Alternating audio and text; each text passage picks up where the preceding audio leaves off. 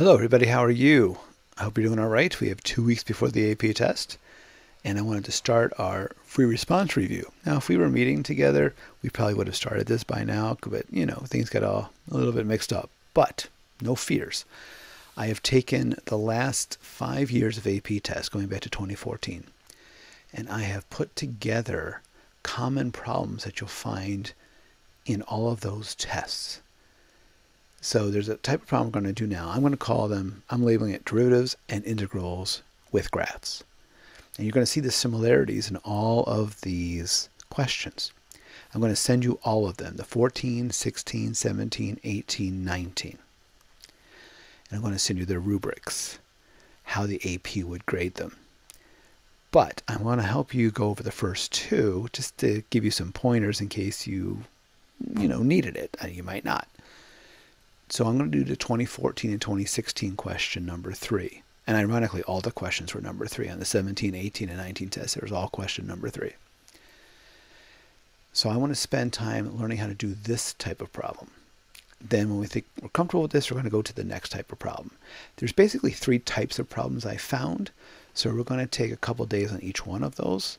And then we're going to look at different, different um, kinds of questions and put them all together just in case. So we're going to look at derivatives and integrals with graphs. So here is 2014's question. I have this graph. It's um, some line segments, one, two, three line segments. And it says it, three line segments. Always make sure you read the description. All right, it's uh, defined on the closed interval, three line segments in the figure above. G is the integral of negative 3 to x. So the first question is, what is g of 3? Well, g of 3 will equal the integral from negative 3 to 3 of the function of f. And don't forget,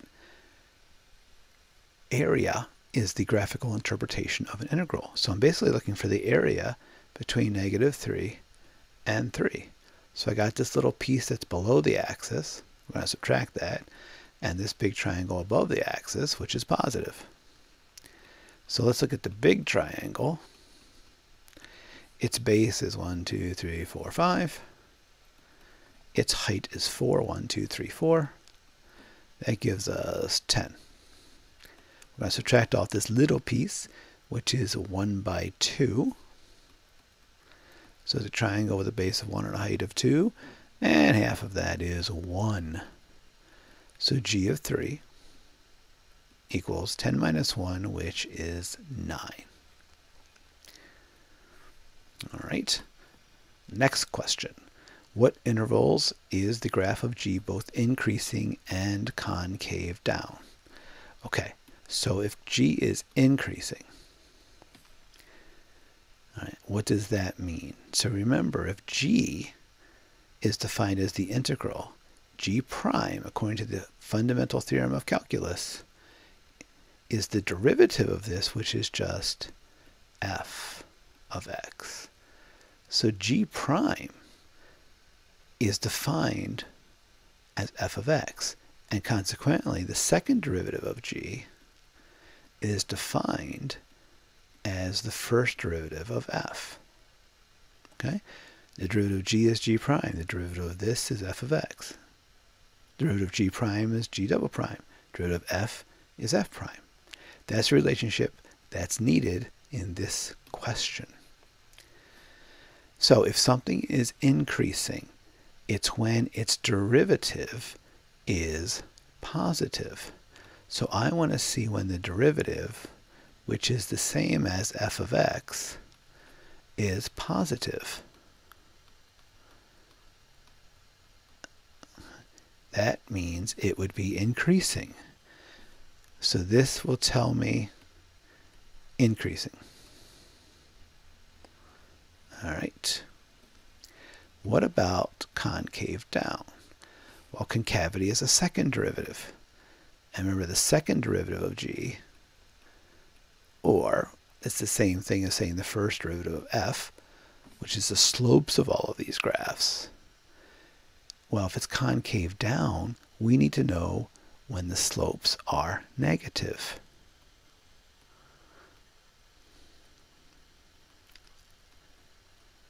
So we want to find two things.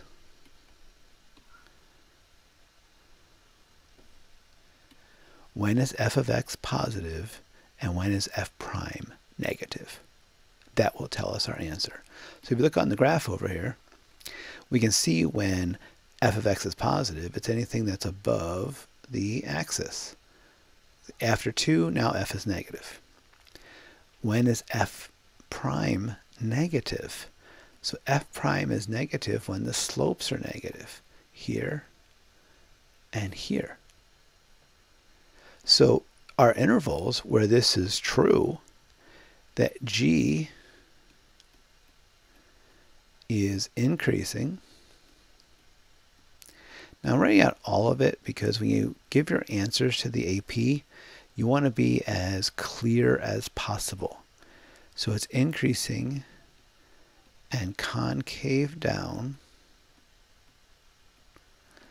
on negative 5 to negative 3 and 0 to 2.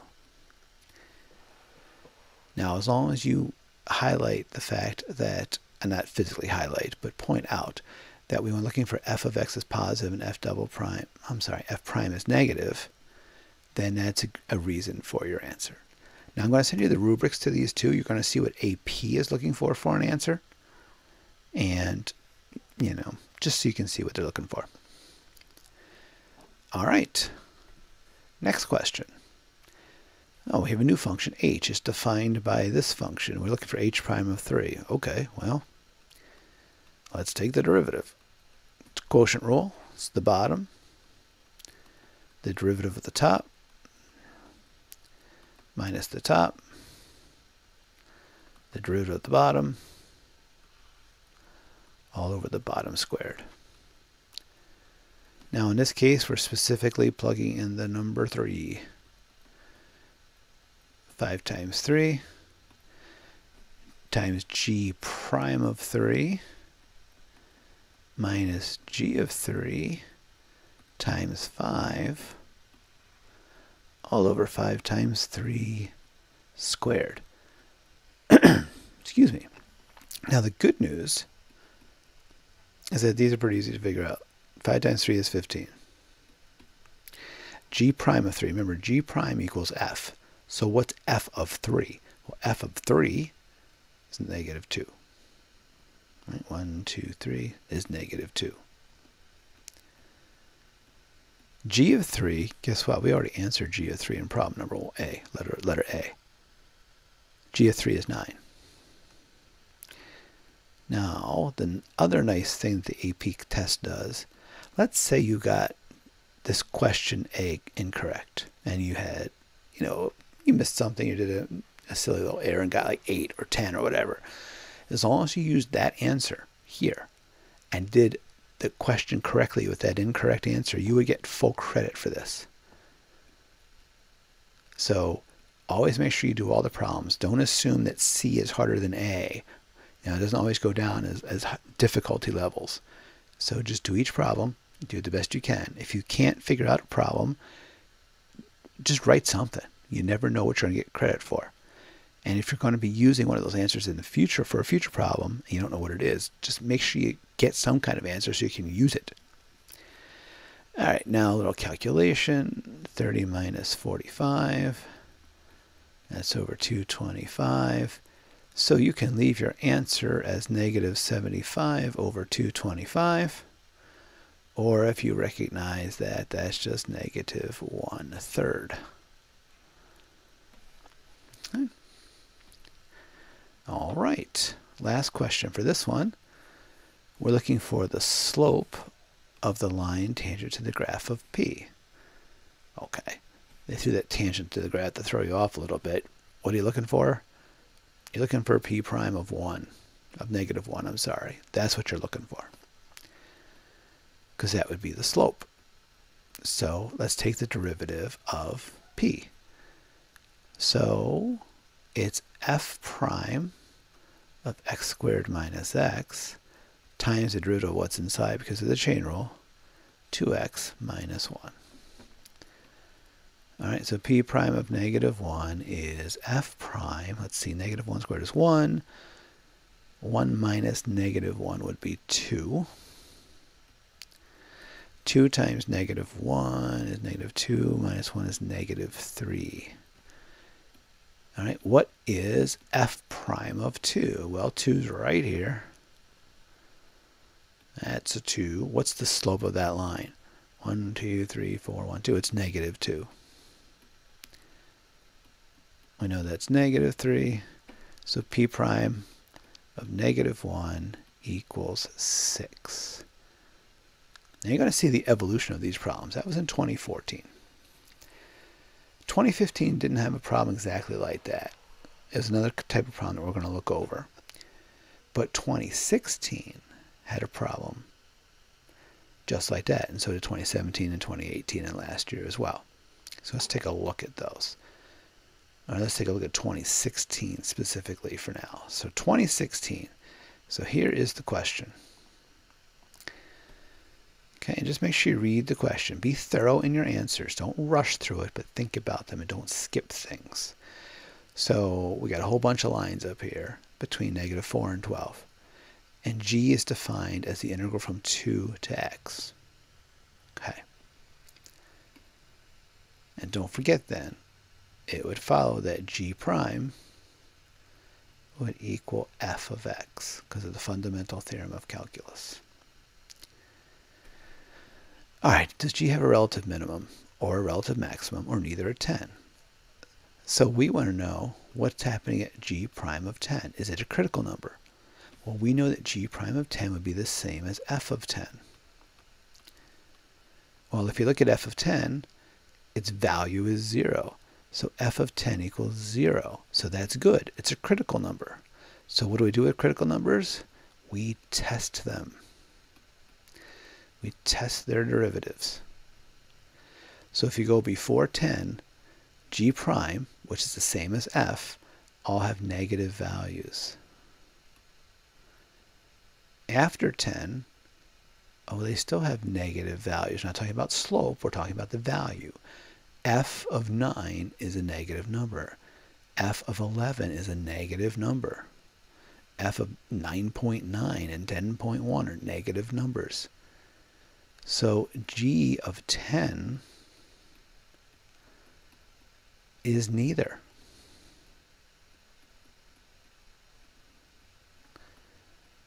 a relative max or a relative min. Now it says to justify your answer. Now I'm sorry, justifying, they don't like to use tables. Tables are nice, but they don't tell you why. So g of 10 is neither relative max or relative min. And really the reason is because there's no sign change at 10. So you could say that g prime of x is negative then what's the best way to say it? We can say it's it's negative from from from eight to twelve.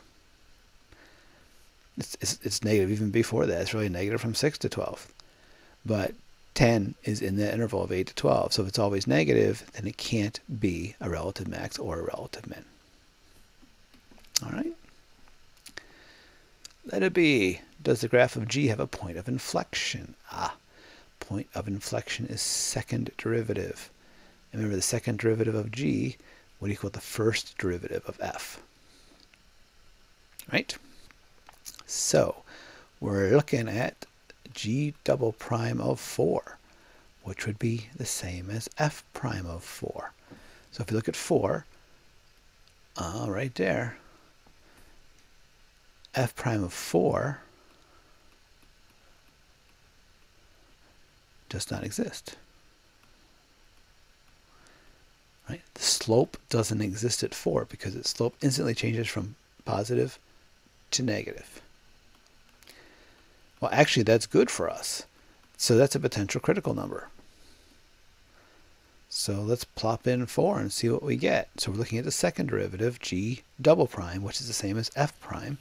So just before f prime, the slopes are positive just after 4, the slopes are negative. So according to our chart, it is a point of inflection. Now we have to justify it. Remember, justifying is not a chart. You got to tell why. So G of 4 is a point of inflection.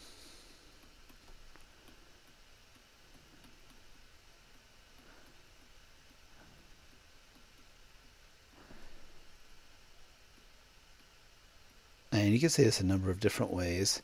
I'd like to say it because because G double prime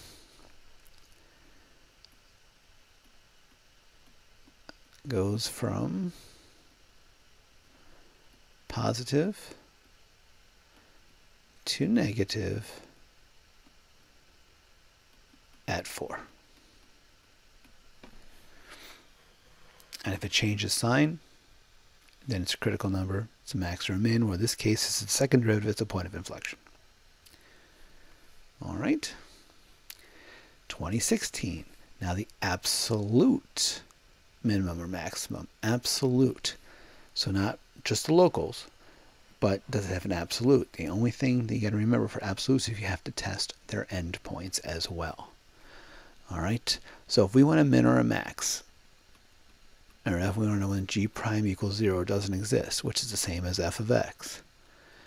So when does that equal 0? Well, that equals 0, and you can look it right on the graph, at negative 2, at 2, at 6, and at 10.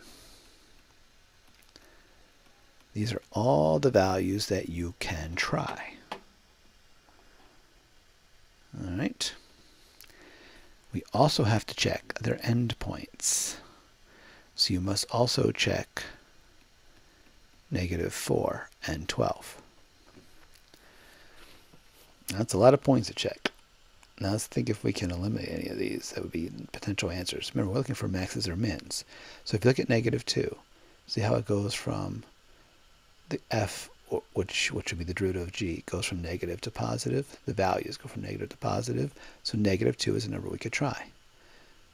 But look at 2. It goes from positive to positive. Well, it goes from positive to positive. It's not a max or a min. So we don't even have to bother trying 2. 6 we should try because it goes from positive to negative. But 10, see it's negative and negative. They're not the slopes, they're actual values are negative. So it's not a max or a min. And we already proved that. We're here. We proved that 10 was either a max or a min. So we don't have to test it. So we only have to find f of negative 4, f of negative 2, f of 6, and f of 12. The highest answer will be our absolute maximum. The lowest answer will be our absolute minimum. Now to help us out here, let's calculate these. They're a bunch of triangles, right? It's just a bunch of area. So this area here is, well, we got 4 units long, 4 units tall. Half of that is 8. So these are all 8, aren't they? And these are both then negative 4. Because we're only going to 4 and 12. We're not going any further. Okay, so those are negative 4. All right. Let's calculate. Actually, the easiest one to calculate here, I don't know. f of negative 4. We'll just go in order. So it's going to be from 2 to negative 4. Okay, 2 to negative 4, so it's 2, but we're going, going backwards. And why do we know it's going backwards? Because we're starting at 2. G is defined as starting at 2. So this way would be all the positives, or I shouldn't say positive. It would be what they are. These would be positive, negative, negative. In fact, I didn't realize I didn't put that. Sorry, negative. But when we go this direction, everything works opposite. So instead of 8, it'd be negative 8. Instead of negative 4, it'd be plus 4. So if you're not sure about that, we can talk about that. But if I'm starting at negative 2 and going this way, I know it's 8. But since I'm going backwards, it's negative 8. But I go all the way to negative 4, the, the, the value negative 4, and the area is negative 4. But we're going backwards, so really adding 4. So f of negative 4 actually equals negative 4. Now f of negative 2, again going from 2 backwards to negative 2, means it's negative 8. Uh-huh. If I'm starting at 2 and going towards 6, well, that's going to be a positive 8. I'm starting at 2 and going towards 12, I go 8 and minus 8, which are 0, negative 4. So, as you can see from this calculation, my absolute max and min are the points negative 2 and 6. So I'm just going to write this, and then um, you should probably write out like if you were writing this for me on a test, I would completely understand what you wrote and I would give you full credit. However, you want to use as clear as possible for the AP test. You want to write that the absolute minimum value occurs at negative 2, negative 8, and the absolute maximum value occurs at 6, 8. Okay? All right, one more problem. We'll go the right way. All right, find all intervals for which g of x is greater than 0. So if you think of it analytically, or we can actually try numbers and see what happens. So we want g prime of x to be positive. Whoops, less than 0. We want g of x to be negative. I think I even said g prime. I don't know what I'm talking about.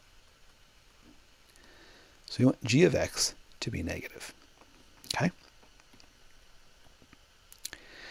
And remember, g of x is the areas starting at 2. So think about it this way. So our areas start at 2, right? This is kind of like our, our starting point for G is right here. Well, that was a very terrible line. Let's fix that. Okay. So if that's our starting point, can you think of it as, just so we talked about in the last problem, everything going this direction things will remain as they are. And anything going this direction would be opposite since we're starting from here. So if you think about it,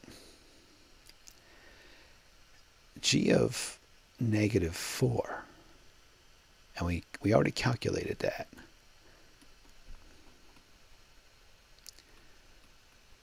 it equals negative 4, so it's definitely negative. So what happens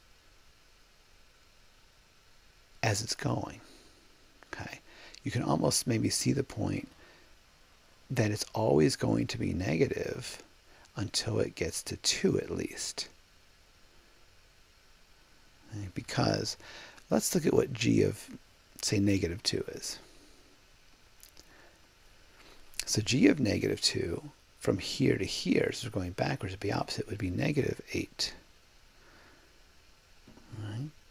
What about g of 0? Again, we're just testing things to see what's going on. Well, g of 0 would be from here to here. It'd be negative 4. It'd be 4 backwards. G of 2, okay, since we're starting here, remember, from 2 to 2, the area is 0. All right, what happens after 2? Now we're going that way, we're going this way.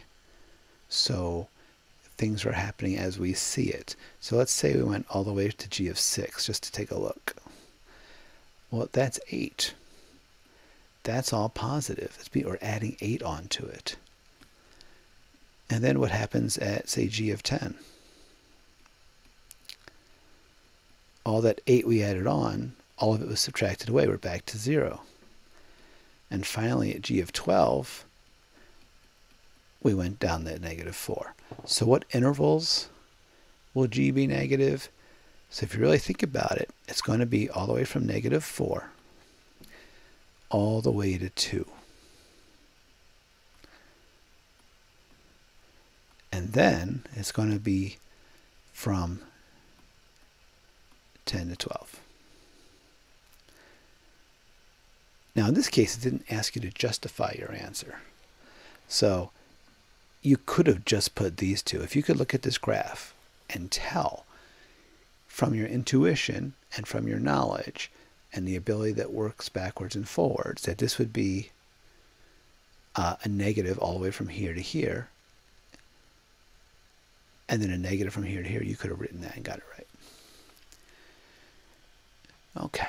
So it may not the best explanation for, for letter D there, but this is just a, a, guide just to get you going. I want you to think about it and I want you to ask I mean, any questions you have. We'll have live sessions Monday, Tuesday, Thursday, and Friday. And if you guys need, have any questions on Wednesday, I'm available in the morning.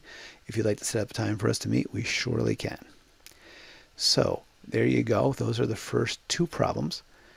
And I want you to please take a look at those and look at the answers for 20 or look at 2017, 2018, 2019 with the similar questions and see if you can come up with them. And we will talk about those on Monday and Tuesday. So by the time you get this video, it's already going to be either late Sunday or early Monday. So you're probably not going to have time to work on them. That's okay. We'll talk about them during our live session and then try those on Monday and we'll talk about how you did on Tuesday. All right. Thank you. Have a great day, and I will see you soon.